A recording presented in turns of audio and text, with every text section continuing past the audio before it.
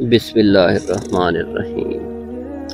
جب تک آپ صحیح عقیدہ قرآن و حدیث والا نہیں سیکھیں گے، تب تک جمعرات کی رات کو آپ کے فوت شدگان علاقے کے مولوی کے خواب میں آ کر ختم پڑھانے کا کہتے رہیں گے۔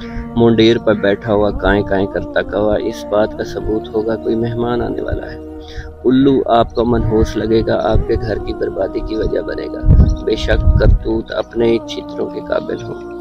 کالی بلی یا کالا کتا آپ کا راستہ کاٹ کر آپ کا کام رکوا دے گا۔ چاہے آپ کی اپنی نیت ہی بدنیت کیوں نہ ہو۔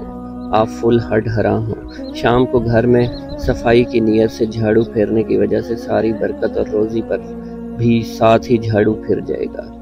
پیر صاحب کو نظرانے دینے پڑیں گے ورنہ آپ کی بھینس، گائے، بھیڑ یا بکری مر سکتی ہے۔ اگر کمرے کی چھت پر کوا ہوگا تو لڑکا پیدا ہوگا، لالی ہوگی تو لڑکی ہوگی رات کو کینچی استعمال کرنے سے گھر میں جھگڑے ہوں گے۔ گھر کی عورتوں کی اپنی زبان کینچی کی طرح، مگر قصور اصل کینچی کا ہوگا۔ گیلے بالوں والی یا حیض والی عورت کسی نومولود بچے کو اٹھائے گی تو اس پر نحوست کا سایہ پڑے گا اور بچہ بیمار ہو جائے گا۔ گھر میں اونٹ کی ہڈی رکھنے سے گھر برباد ہو جائے گا۔ گھر پر الٹی ہانڈی رکھنے سے گھر کو نظر نہیں لگے گی۔ اگر حدیث شریف کو پڑھ لیا کریں تو یہ سب نہیں ہوگا، جو بھی ہوگا اللہ کے حکم سے ہوگا۔ آپ کو ان چیزوں سے ڈر نہیں لگے گا کیونکہ اللہ نے آپ قرآن، آپ سے قرآن میں وعدہ لیا ہے۔